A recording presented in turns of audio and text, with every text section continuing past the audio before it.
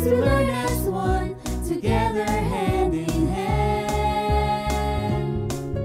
Sa edukasyong hatid sa bawat tahanan, walang iwanan. Because we learn as one.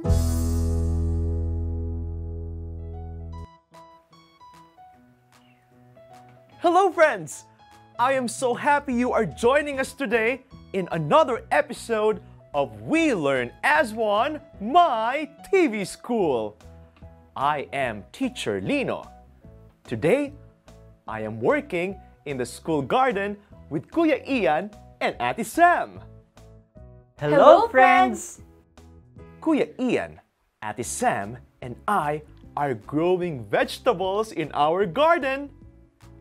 Have you ever grown something in a garden? Wonderful! I'm glad that so many of you grow things. People all around the world grow different things in their gardens. Some grow vegetables, some grow fruits, others grow rice and other grains. People grow flowers and herbs in gardens too. I like growing things in our garden, but it is hard work. You're right, Ate Sam. To make a good garden, you need good soil, enough water, and the right amount of sunlight. It takes a lot of work to make the soil ready. Plant the seeds, water the plants, and then pick what you have grown. Children, thinking of gardens reminds me of a story I want to share with you today. Teacher Lino, is the story about gardens? Well, Kuya Ian, let's just say the story might talk about some very big gardens. You will see when we read. Let's go inside now.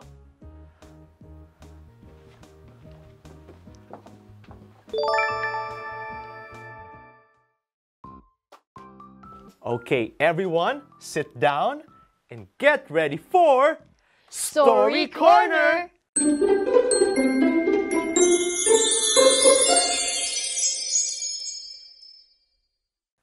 Children, I want to spell and read some words together that we will see in our new story.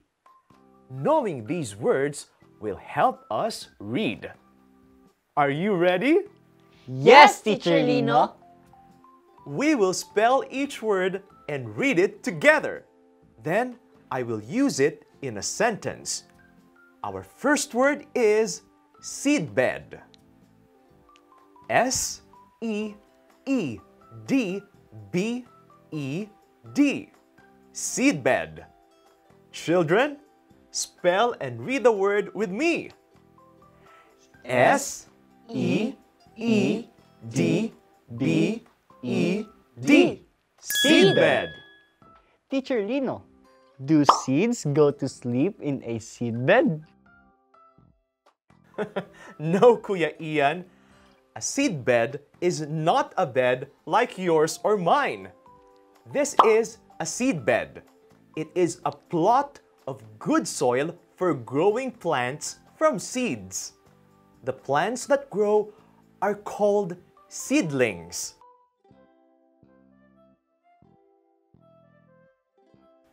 Let's try another word. This word is terraces. T E R R A C E S. Terraces. Let's do it together. T E R R A C E S. Terraces. Teacher Lino, I eat lunch on a terrace at home. Lovely, Ate Sam. A terrace can be a small patio like the one you have at home. But terraces are also flat pieces of land that are built into the sides of hills and mountains for farming. Here, you can see some terraces that farmers in the Philippines have made. the terraces allow farmers to use the hills and mountains that would normally be too steep for growing crops.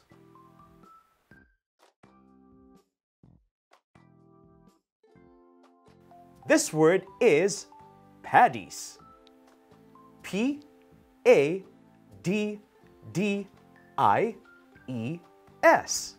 Paddies. Spell and read the word with me. P A D D I E S. Paddies. Children, paddies are fields where farmers grow rice. In the Philippines, rice paddies are often found on terraces.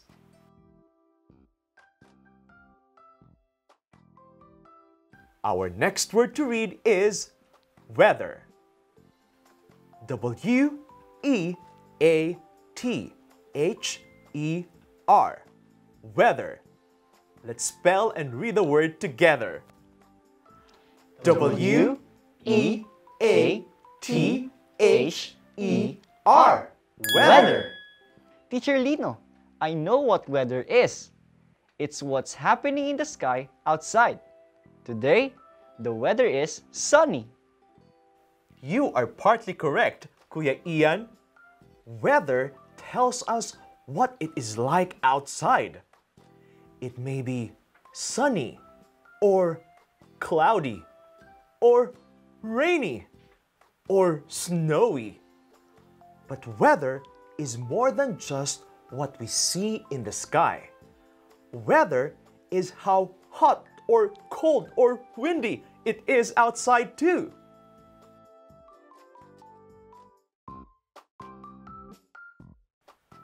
That reminds me of our last word, temperature. T E M P E R A T U R E. Temperature. Children, spell and read the word with me. T E M P E R A T U R E. Temperature. Children, temperature tells us how warm or cold it is.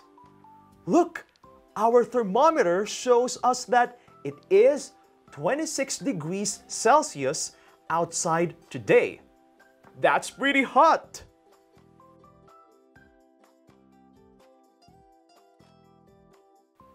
You all did a great job reading those words. Now, let's read our new story. Here's the cover of the story. What do you see in the picture? Excellent! I see a family listening to the radio. Teacher Lino, I think the family looks worried. Maybe they are hearing bad news on the radio. Look at the pictures above their heads. The boy is thinking about the hot and dry day. The girl is thinking about the wet, rainy day. Maybe they are listening to a weather report on the radio. Wow, Ate Sam and Kuya Ian, you have some good ideas. You might be right. Children, have you ever listened to a weather report? That's good. News about the weather can help us be prepared when we go outside. It can also tell us if there will be dangerous weather in our community. Let's read to see what happens in the story. Kuya Ian, Ate Sam, and I will read aloud. You can read with us by reading the words on your screen. The title of our story is Bounty in Our Hands. Do you know what bounty means? Very good. I heard someone say a lot. Bounty can mean a lot of something. It can also mean an amount of crops that are grown. Our story was written by Joji Reynes Santos. It was edited by Pia Zoraida Bucinios. Edited means she helped the writer. Jericho Moral drew the pictures. Chapter 1 Dulnuan works in the fields every day. Bugan helps him. Ali and Dina help too when they are not in school. Today, Dulnuan drains the water from the field and prepares the seedbed. Bugan and the children pull the weeds. They toil in the field all morning. They rest under the shade of a tree and eat lunch. They eat boiled rice and beans. Ali and Dina are proud of their work. Dulnuan looks at the clear blue sky. There is not a cloud in sight. He looks at the terraces below. He bends to pick a handful of soil. He frowns. Are you still worried about El Nino, Ama? Ali asks. Dulnuan nods and explains. During El Nino, weather is hotter and drier than usual. Seedbeds and rice paddies dry up. That is not good for farmers. Later, I will sow the seeds in the seedbed. If it dries up, the seeds will not grow. Then, there will be no seedlings to plant. In the afternoon, Dulnuan and Bugan sow seeds in the seedbed. How can we help Ama and Ina? Asks Dina in a soft voice. Ali hears her and says, You can sing to the rice seeds. Lola said that if we sing to the plants, they will grow tall and heavy with fruit. That's funny. Is that true? Dina asks. Lola said you can dance for rain and good harvest. You heard Ama. If there is no rain, the seedbeds will dry up, and so will the seedlings. Dina walks along the seedbeds, singing softly. Aya, I, aya, I, under the mud, rest and sleep. Grow oh with speed, little rice seed. Healthy seedlings we badly need. Aya, I, I, I, yay, yay. Ali does not dance, but keeps busy. He gathers soft soil in his hands. He forms what looks like a jar. The work is done. It is time to go home. The family hikes up the trail to their hut. Dulnuan pauses. He looks up to the sky. Now he sees clouds. They are turning gray. Let us hurry, he says. This long, dry, and hot weather can just as suddenly bring in heavy rains. Sometimes it brings in even strong storms and typhoons.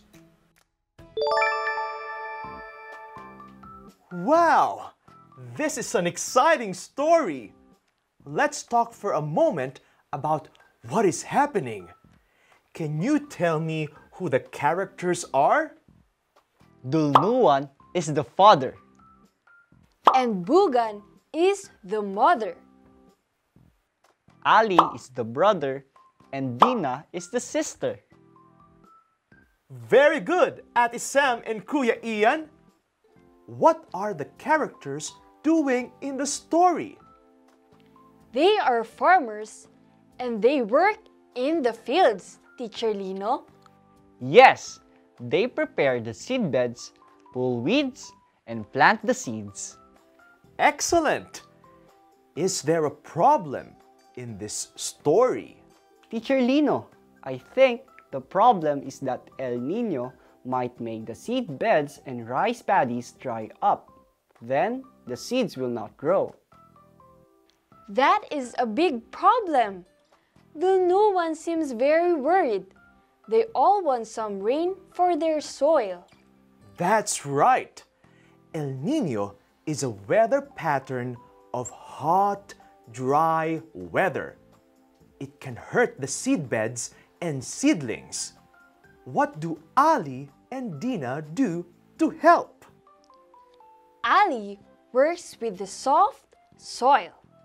Dina sings to the seeds and dances for rain and a good harvest.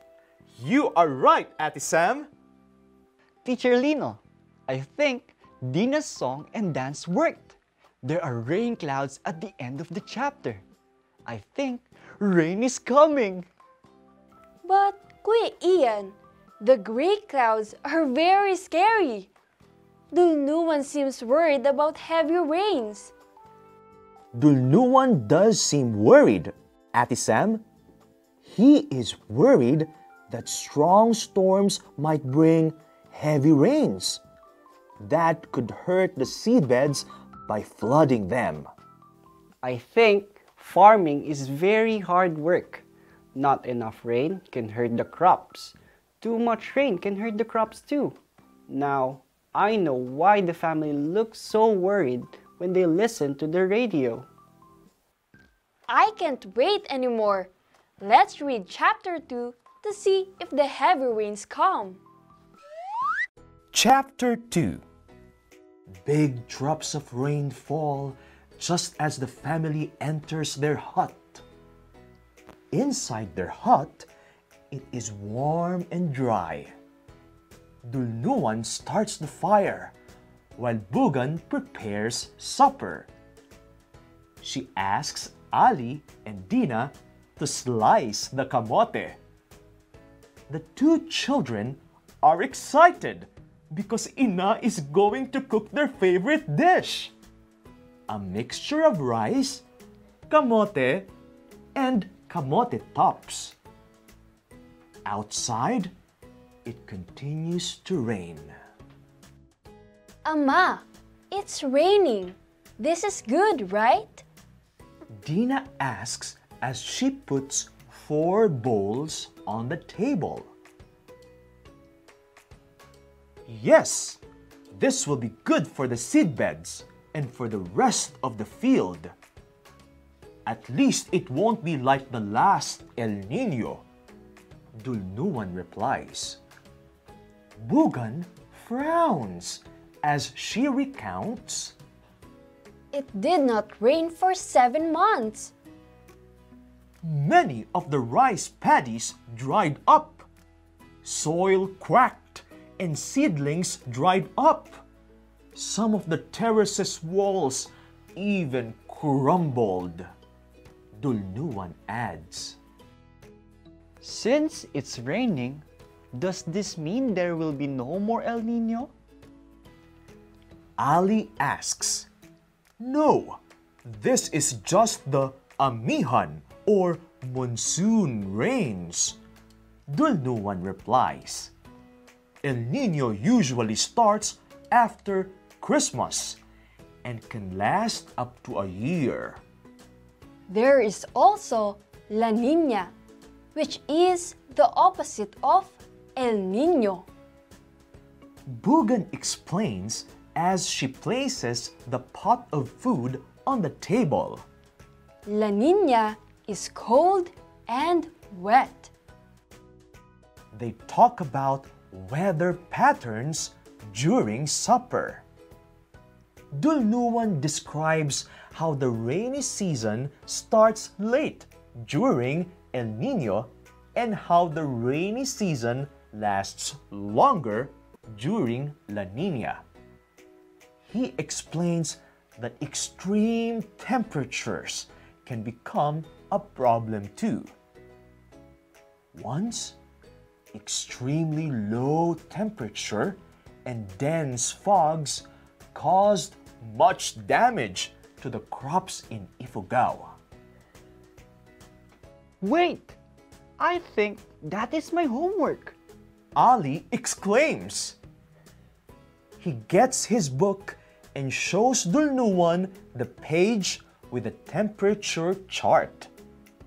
Dulnuan teaches him how to read it and helps him answer the questions.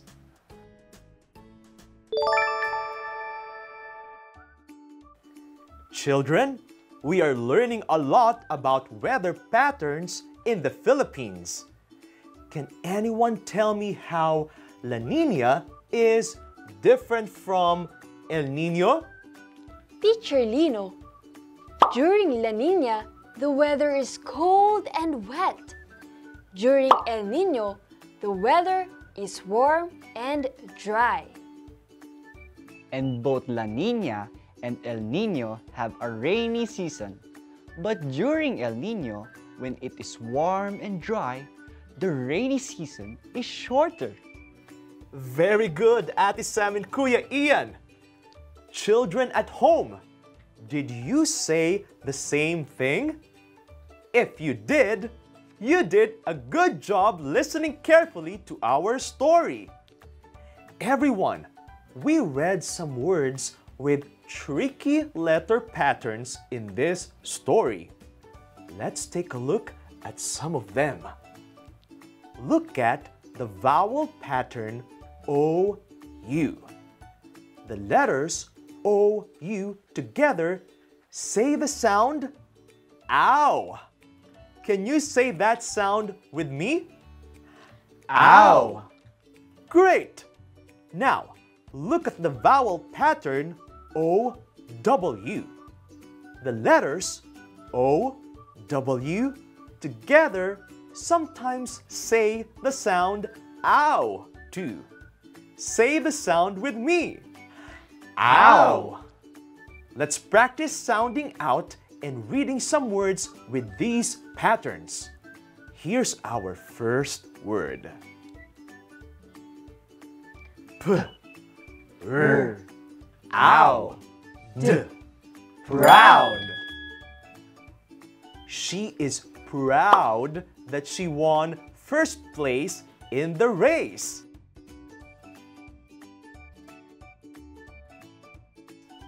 Very good. Let's try another word. Ow. How? How are you is a polite question to ask a friend.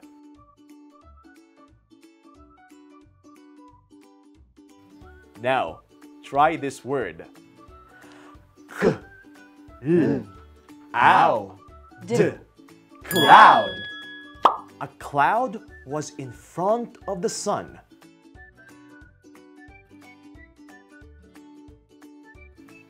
Here's another word. Ow. Frowns. He frowns when he feels grumpy.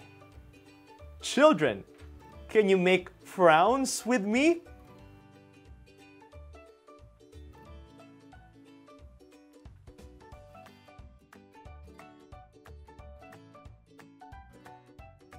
Good job making frowns, everyone! Let's try this word. Children, when a long word ends in the letter Y, the Y makes the long E sound. E. B. Ow. T. E. Bounty. Great job! I saw a bounty of fruit on the table.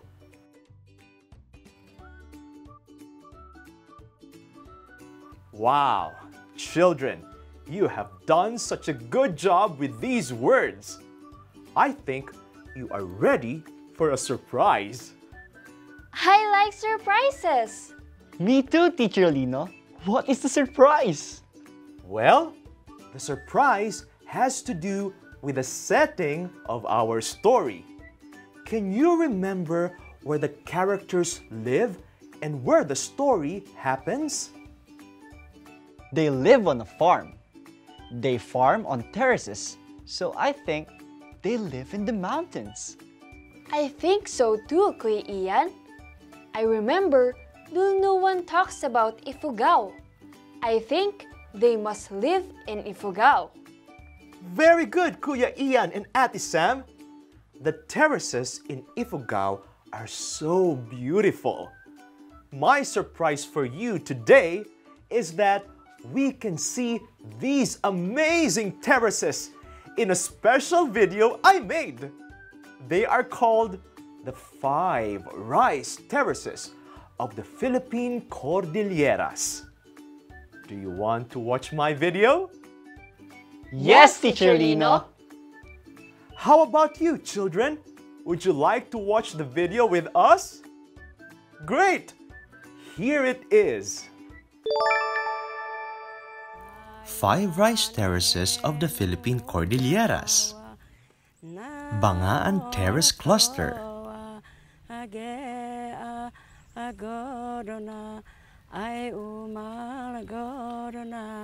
Batad Terrace Cluster.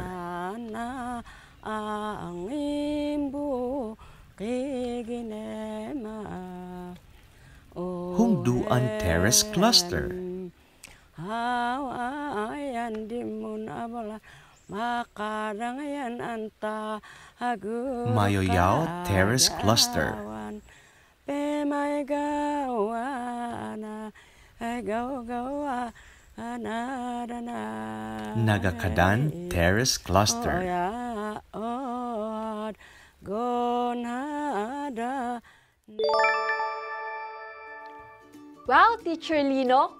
I never knew the Philippines had so many farms and terraces.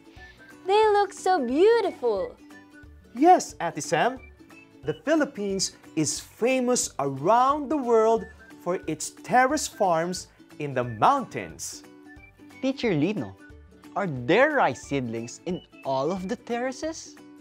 No, Kuya Ian. Not all of the terraces are for growing rice. Some grow kamote, which is also known as sweet potato. Talking about rice and kamote makes me very hungry. Some rice pudding or sweet potato pie would taste great right now. Okay, Kuya Ian, we can get a snack soon. Children, we are at the end of our story time today. When we meet again, we will read the last two chapters of Bounty in Our Hands. I have homework for you.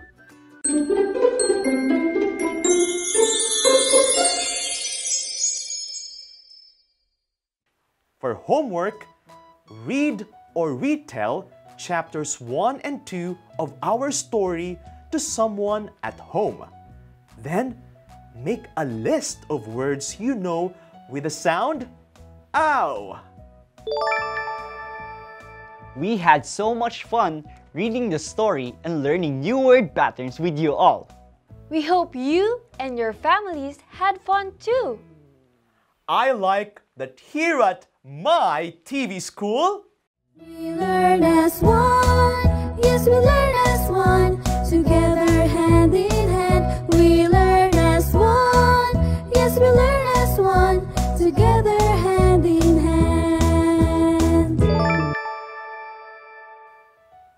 thank you for joining us. See you next time on Story Corner. Goodbye. Goodbye, everyone! We learn as one. Yes, we learn as one. Together,